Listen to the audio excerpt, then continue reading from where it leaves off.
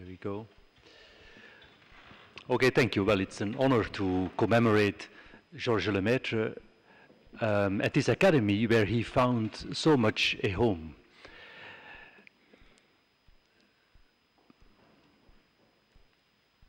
In fact, Lemaitre told us Le monde est une belle histoire que chaque génération s'efforce d'améliorer. In that spirit, I thought I'd take the occasion to provide a little context behind his pioneering contributions to cosmology, which, as you will see, in many ways laid the foundation for many of the ideas that we heard about this afternoon.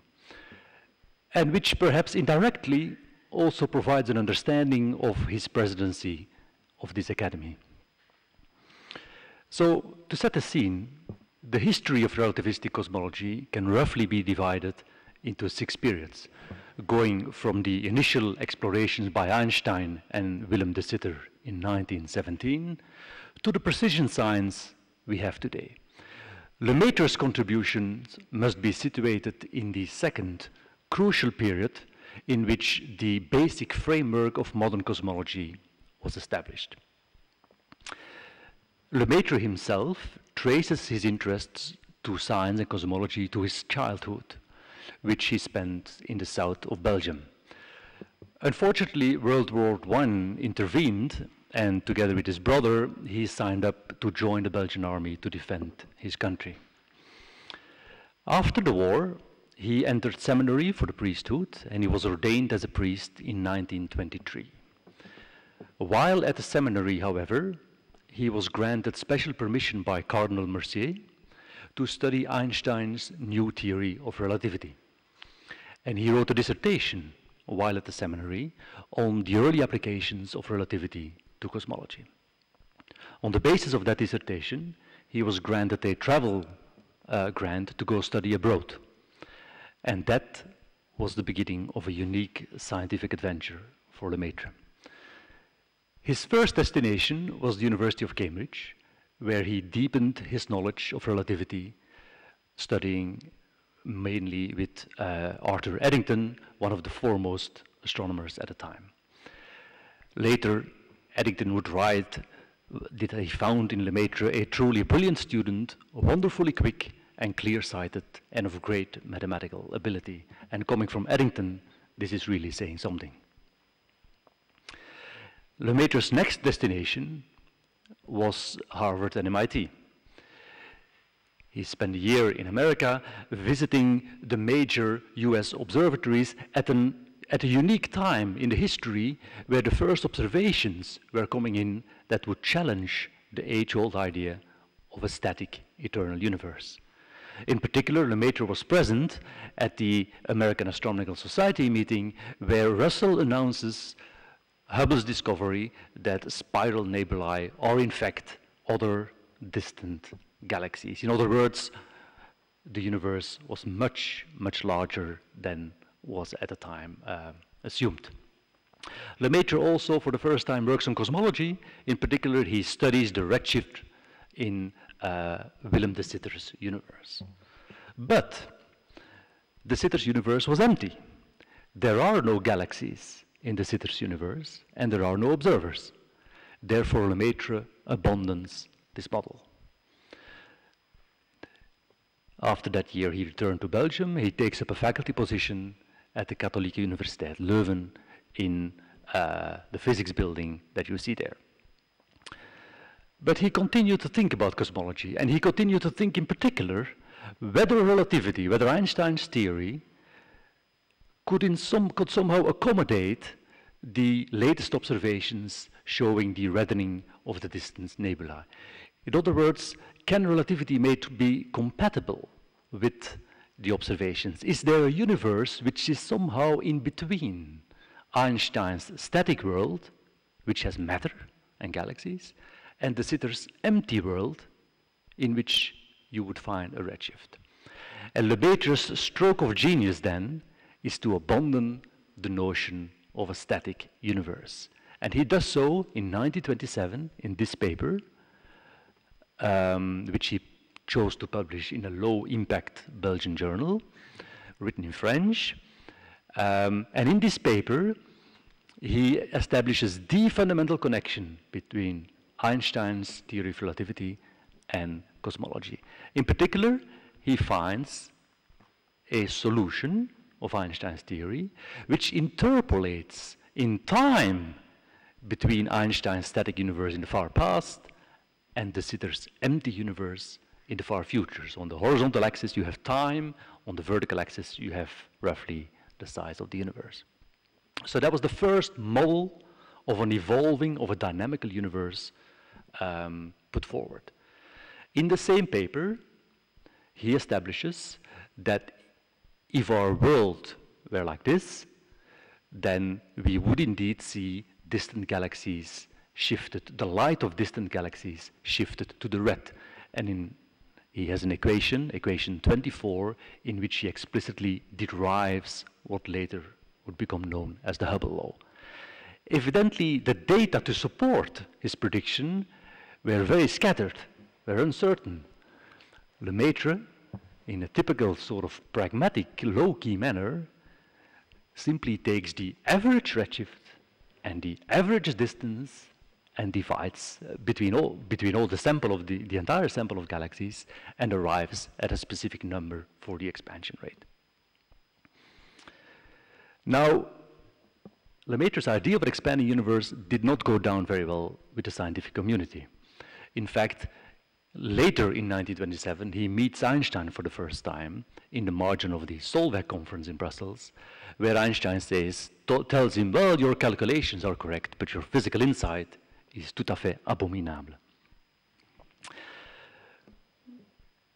But, as you know, two years later, Hubble establishes observationally, with more precise data, the linear relation between distance and redshift. And at that point, evidently, the scientific community is very much aware that there's something serious at stake for relativity. Therefore, the reddening of the nebulae is very much high on the agenda at the January 10 meeting in 1930 at the Royal Society, Royal Astronomical Society in London, where both Eddington and de Sitter really put forward the pressing issue whether relativity can be made compatible with, um, the with Hubble's observations. It is only at that point that Lemaitre reacts and writes Eddington uh, saying that he had found a solution to this problem three years earlier. And on the right you see um, the manuscript that Lemaitre sends to Eddington, which Eddington passes on to de Sitter, and Eddington writes a little note on the, in the top left corner saying, well, this seems to be a complete solution to the problem we were discussing. And from then onwards, Eddington, de Sitter, the whole astro relativity community uh, is very much on board with the idea of an expanding universe, and eventually also Einstein concedes.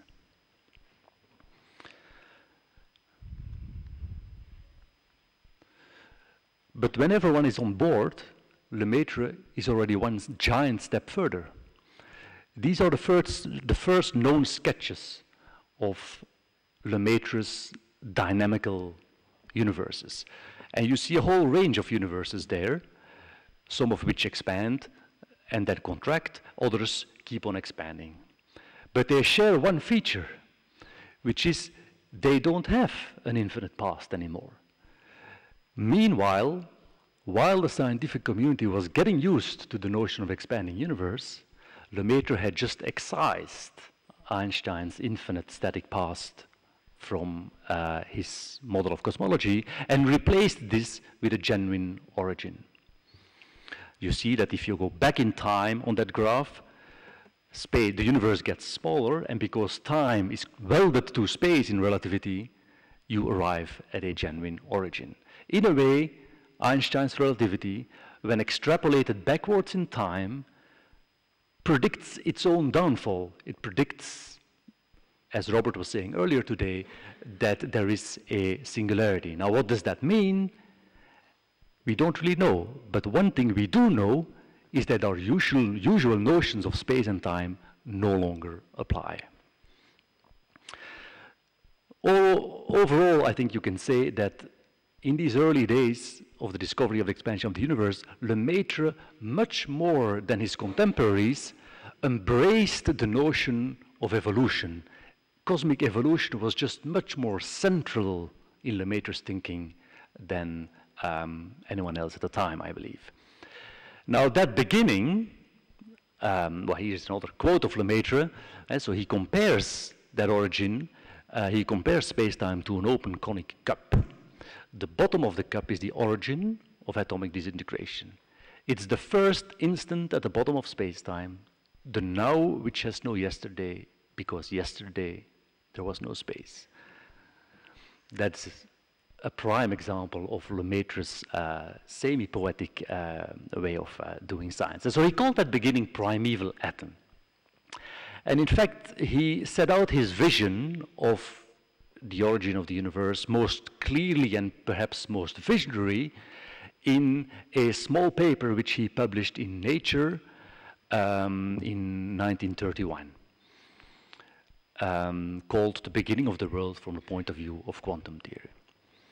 This paper is very gently, very carefully written, almost poetic, and in fact it's it's incidentally, it's assigned in his own name with his home address, not his university's address. And it's written as a response to an earlier statement made by Eddington a couple of months earlier, which I'm showing at the bottom there, where Eddington essentially claimed that any notion of the beginning of the world is repugnant to him.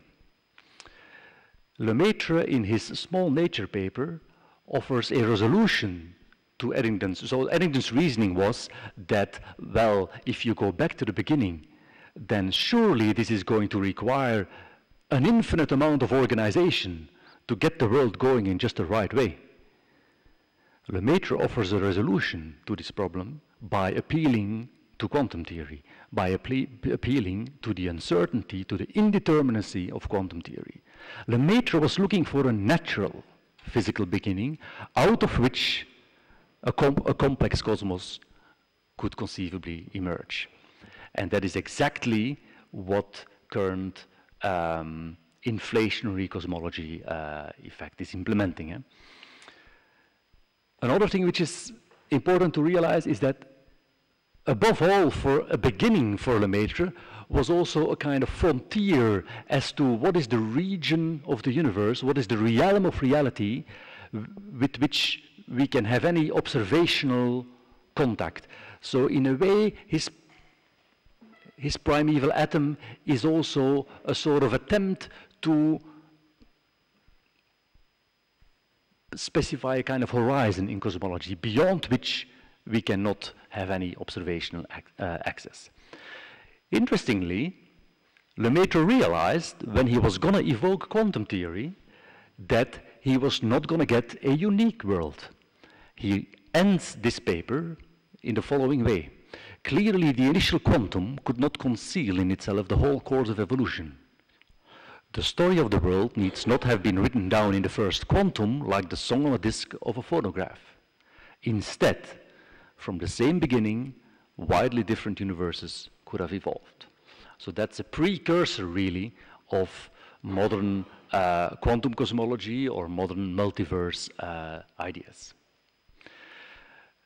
Now, you will not be surprised after hearing Einstein's reaction to the expanding universe that Einstein wasn't keen on the notion of a beginning. After all, it implied the breakdown of his own theory. And indeed, um, Lemaitre and Einstein had a lot of correspondence in the early 30s, but Einstein would very much um, keep any notion of a beginning uh, at a distance. In fact, he complained to our Belgian priest that this reminded him too much of the Christian dogma. But here we have a Belgian priest trying to make clear that religion and theology is very different from, trying, from describing the physical origin of the universe. And incidentally, the paper that I'm showing there ends with those words. But at the archives of Lemaitre, you find the manuscript of this paper. And the manuscript of this paper contains an extra, an additional paragraph, all the way at the end, which Lemaitre crossed out before publication.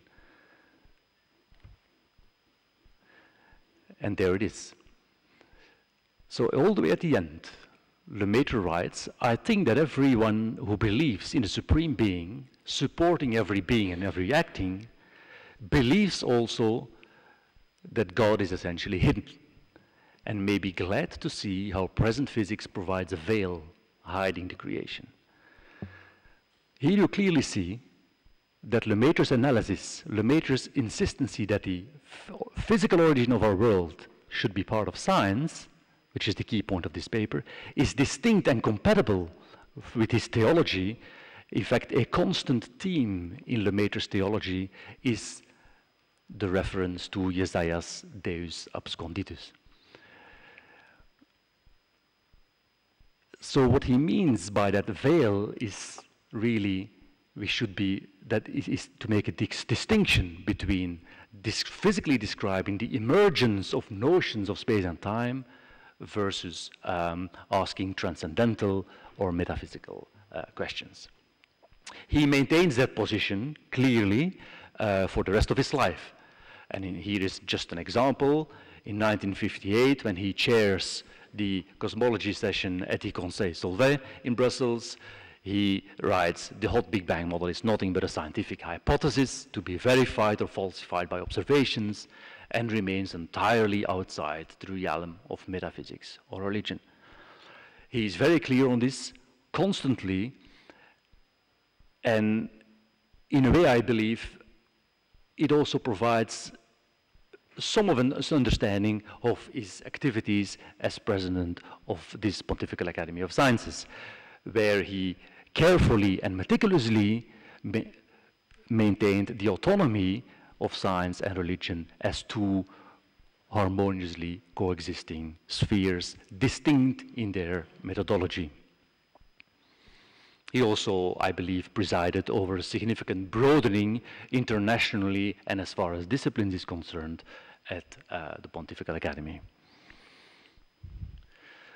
Does this mean that philosophy has absolutely nothing to say about cosmology for Lemaitre?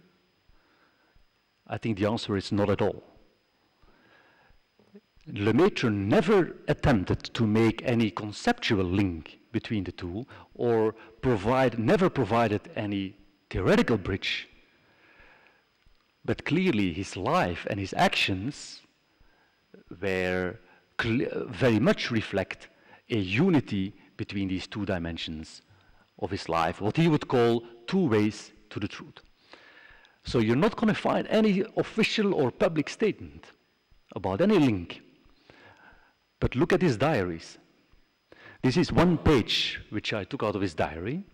On the left page, you see a description of his favorite cosmological model, an expanding universe, and so forth. On the right page, there is um, a discussion of, in fact, a medieval Flemish spiritual thinker. These two aspects of his life are constantly intertwined in his diaries and really make Lemaitre, through his actions, who he was. Now, in the early 30s, Lemaitre and many other people at that time, Tolman um, and so forth, consolidated that early picture would, which, would, which would become the foundation of, of, of our modern uh, Big Bang theory. Um, and in, interestingly, Lemaitre settled on this particular model of cosmology. A universe, in other words, which expands fast initially, which then goes through a slow period of expansion, and finally accelerates again. Beautifully visionary, and as Saul told us, it turns out to be the universe in which we happen to be. It's also interesting why Lemaitre settled on this universe. Because you might think, well, it's not the simplest universe, and indeed this is a little more complicated than, than what you might have wished for. Lemaitre settled on this universe because he thought there better be enough time for galaxies and stars and planets and complexity to develop. In order to have enough time, given his value of the expansion that he could measure, that, that, that, that, that, that Hubble found, he needed this flat plateau, he needed that decelerating phase in the middle. So Lemaitre reasoned, and this is pure Lemaitre, this is really pure Lemaitre. Lemaitre reasons here in a sort of subtle magic sphere between theory on the one hand and the obvious fact that we have to exist in the universe on the other hand. He sort of naturally takes into account our existence in these very early models of the universe which he built. Now, that final phase of accelerated expansion that you see there can, um, is realized in Lemaitre's model by the cosmological constant, little lambda at a time, which uh, Jim and Saul already told you about. Lemaitre kept this. In contrast to Einstein, Lemaitre always kept lambda, and he regarded lambda as a bridge between relativity and quantum theory. In a way, he regarded lambda as sort of the ultimate connection between the infinite small on the one hand and the infinite large on the other hand. Which may well be true. Per lambda, we have already, we, we now have observed the cosmological constant. We don't really know where it's coming from. But it might well be, in my opinion, that with a better understanding of quantum gravity, that this understanding of quantum gravity may tell us something more about this cosmological constant. Put differently, we may already have made an observation, namely the value of the cosmological constant, which tells us perhaps something about the true quantum origin of our universe. So to sum up, what are the key ingredients of Lemaitre's hesitating universe which he settled on it's an expanding universe with a cosmological constant and a quantum origin. That, he concluded, should come with some relic radiation. There should be, in his words, um, some fossil radiation left over from that very early hot uh, epoch of the universe. And I let, I let that describe to you by himself, if the movie can start, here is a little um, part of an interview he gave. Uh, ah, but it comes without sound, yeah. so that's in Dutch. Hein? Um, dans la, théorie, dans la théorie de l'atome primitif, c'est que une partie des rayons ont échappé, ne comptant presque pas d'hydrogène, et que ces rayons peuvent se retrouver, et que l'on peut espérer qu'ils se trouvent, dans les rayons cosmiques.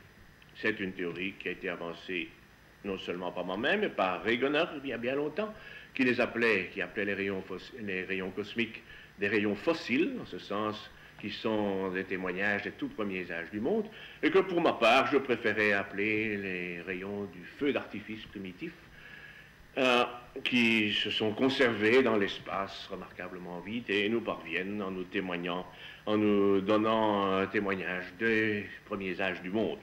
Évidemment, un peu de poésie là-dedans.